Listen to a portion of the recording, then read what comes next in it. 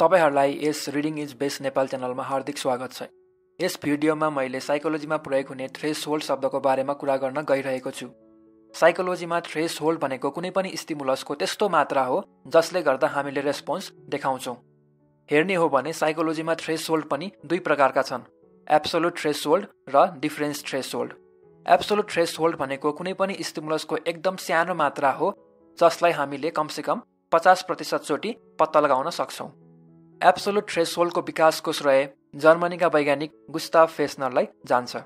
त्यसै गरी difference threshold भनेको कुनै पनि दुई स्टिमुलस बिचको एकदम सानो फरक हो जसलाई हामीले कमसेकम पचास प्रतिशतचोटि पत्ता लगाउन सक्छौँ।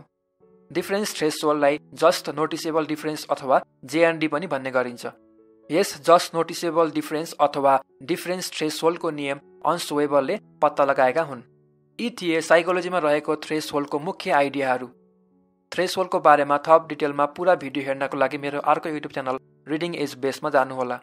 यतिन्जेल भिडियो हेर्नुभएकोमा धेरै धेरै धन्यवाद। भिडियो मन पऱ्यो भने लाइक गर्नुहोला र कुनै सल्लाह सुझाव सम्बन्ध कमेन्ट गर्न नभुल्नुहोला।